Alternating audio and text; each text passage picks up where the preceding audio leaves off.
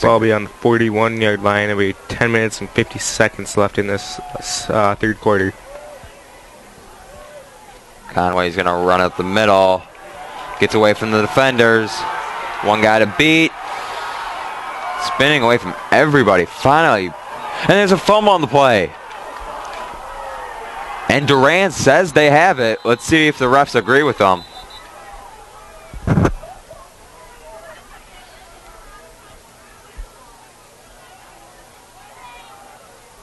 And Aquinas has the ball.